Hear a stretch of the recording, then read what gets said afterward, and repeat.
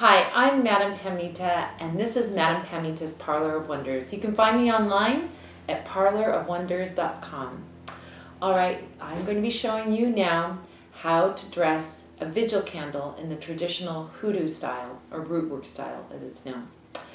Um, first things you need to get this going are a seven day vigil candle, sometimes called a vigil candle, a church candle, any tall candle encased in glass. Other things that you will need are some herbs that support your work, an herb blend that supports your work. These are, I can make custom blends for you through my shop. If you come to my shop or online, contact me online, I can make a custom blend for the particular thing that you're needing. Also have these candles, but these candles are pretty readily available anywhere. Um, you will also need some oil to dress the candle, some spiritual oil. In this case, we're going to be doing a reconciliation spell. And so I have reconciliation oil. This oil is made by Lucky Mojo and is also available through my shop and online through my shop. Lastly, you'll need some glitter to add to this candle. Since we're going to be working with a reconciliation spell, we're using a pink candle that will sweeten that relationship, make things come back together and be sweet again between you and your beloved. So um, we're working with a pink candle. We're going to work with some pink glitter as well. All right, so you've got all your uh, ingredients assembled and this is how you do it. First you start out, oh, last thing you need, didn't mention this, something to poke holes into the candle. You're going to do that. I like to use um, this metal chopstick that I, um, uh, I think it's nice and strong. You can use a regular chopstick, you can use a screwdriver, you can use an awl. There's um, many things, but something, you want something that will poke a long skinny hole into the candle wax and do it easily. I like this one because it's nice and sturdy. It's a metal chopstick. So um, how you begin is first by poking seven holes around the outside with your chopstick or your um, screwdriver. You're going to poke those holes in a circle and you're going to poke seven holes. So hold that candle and poke seven holes in a clockwise direction.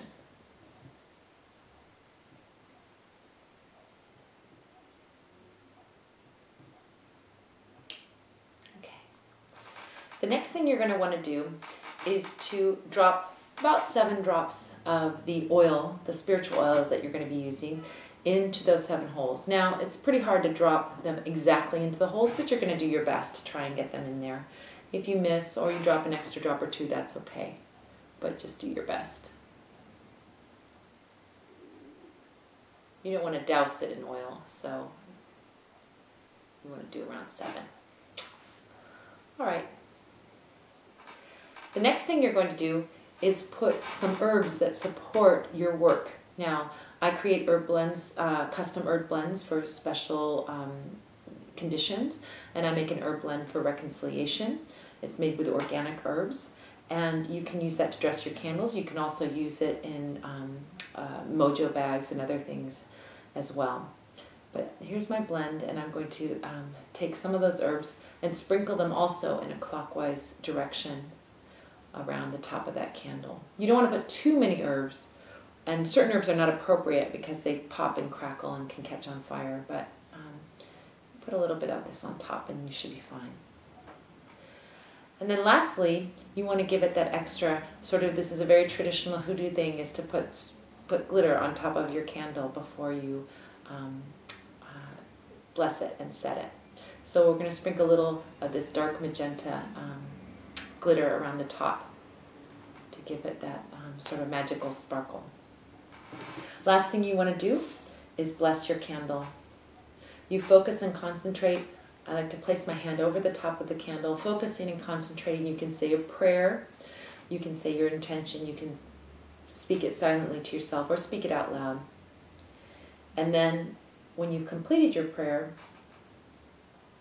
take the candle and knock it out against the table three times. Your candle is blessed and ready to light. From that point on, you light your candle. Again, speaking your intention if you like. That me, my beloved, and I are reunited reconciled and that all is peaceful and harmonious between us. You let that candle burn. Some people like to let vigil candles burn completely if you have a safe place to do it. A nice safe place to do that could be in your bathtub, an empty bathtub, for example, or some place where there's no danger of it catching on something on fire. Or if you like, you can snuff the candle while you leave the house or go to sleep.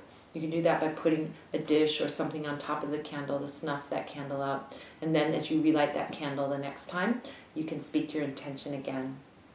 Never want to blow out the candle because blowing out the candle will end the work. So just make sure that you snuff the candle by putting a dish or some kind of block on top to block out the oxygen.